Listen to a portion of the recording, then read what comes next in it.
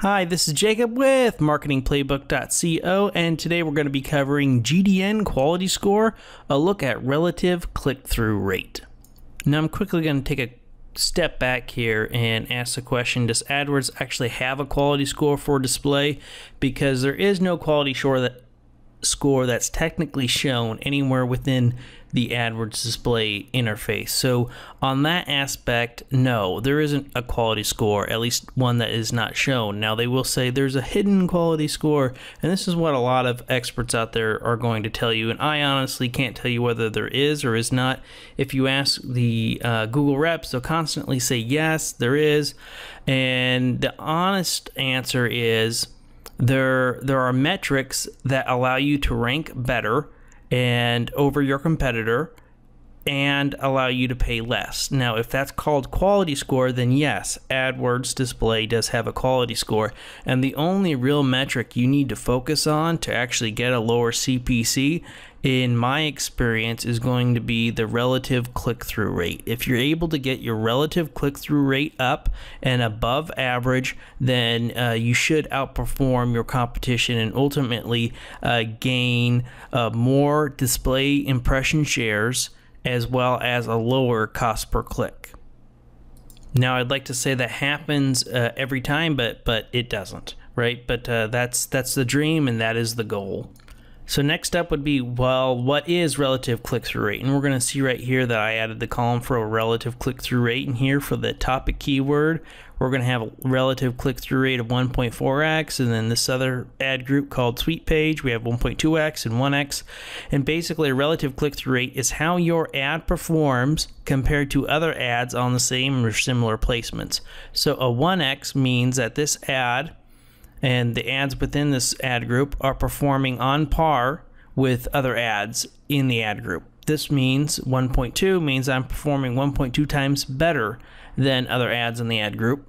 And same with a relative click through rate of 1.4x means I'm performing slightly better than, uh, well, quite a bit better than other ads on that same placement. And you'll notice if you have campaigns that are just doing remarketing, your relative CTR is going to be tend to be a lot higher than than others out there. And that's because you're you're highly focused on a set at, on, on a set audience, which means you should have a higher relative click through rate because your audience should be far more interested than the average person out there. So in this example here, we have advertiser A, B, and C, and let's go ahead and run some quick numbers here. So advertiser A had 10,000 impressions with 50, 50 clicks for a CTR of 0.5%. Advertiser B, same thing, but 100 clicks. And advertiser C had 75 clicks. So 1% and 0.75%. The relative click through rate, if these were all on the same placements, and keep in mind these are different advertisers, then the relative, the average of everything would be 75 clicks per 10,000 impressions. Because if we look at this, uh, this would be 75, 150, yeah, that all together, you get 75 clicks. So this individual right here is performing uh, about 30% worse, right? So their relative click-through rate would be something like 0.7x. And this individual B is um, performing better at 100 clicks instead of 75, so they're about 1.3x. And then advertiser C is going to be at 1x because they are uh, in line with the, the average of everybody there. Now, if we were to take this a step further and kind of expand it out a bit, if we look at this, uh, all these three advertisers all had 10,000 impressions. Now, what it cost this individual, if it say it cost them uh, if they were at 50 cents a click, that would put them at uh, 10,000 impressions, 50 cents a click, at uh, $25 in spend. So we do 25 in spend, which equals out to a 2.5 CPM cost per thousand. So they're at a 2.5 CPM.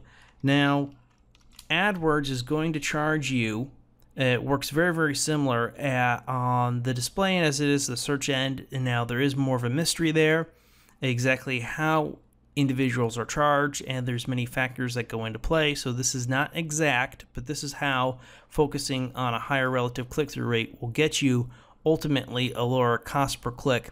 And that's because you're able to produce far more of a value for AdWords uh, because you're getting far more clicks, which ultimately makes a publisher and AdWords more money.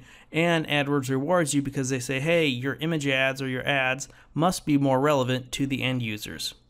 So if this individual was paying, let's say, 50 cents a click, he would have paid $50, which would have given him a $5 CPM. Now, is AdWords actually going to charge you that $5 CPM? Well, if all things being equal, then no, they're not. They're going to charge you slightly above this other individual. Think of this person as in the number two slot, or possibly even in the number three spot. So, depending upon how much competition is out there for that placement and for that ad position, uh, you could ultimately end up paying far less than what other people are paying per click by having a higher relative click through rate, by having your ad be more relevant to end users and cutting out bad placements that are that are taking a whole lot of impression shares away from you. Now to drive the point home, and I kind of already covered this a little bit, but it's good to touch base again on it. Your you have your click through rate, and so if we look at this, my click through rate is 0.79 here. We'll just say uh, 0.8 percent, and here it's 0.4 percent. Well, I would think that well, if it's 0.8% here and 0.4% here that my click-through rate here is really really bad and my and my image ads and my ads must be really bad in this ad group because this other one's performing so much better. But in the grand scheme of things no it really isn't. Uh, it's just the way that the targeting is the way the keywords are uh, within this ad group because we look and it says that I'm average.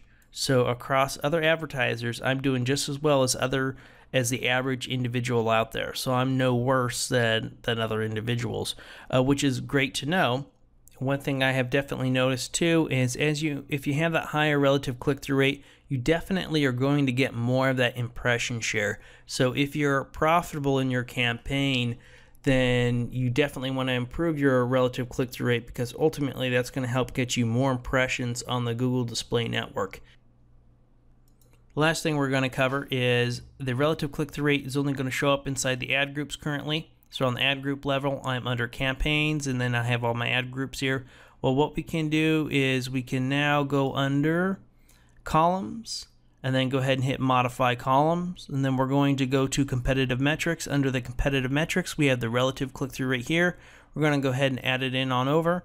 And once it's added over, we can go ahead and we can move this around to anywhere we want within here, when you first add it, it should be at the bottom, and you just move it around to wherever you want. Then scroll down and go ahead and hit apply, and it should be added in there. Now, if you're just looking at your data for one day, chances are the relative click-through rate won't show up. What you're going to want to do there is actually show for the last seven days or for the last month, depending upon the volume that you have inside the campaign.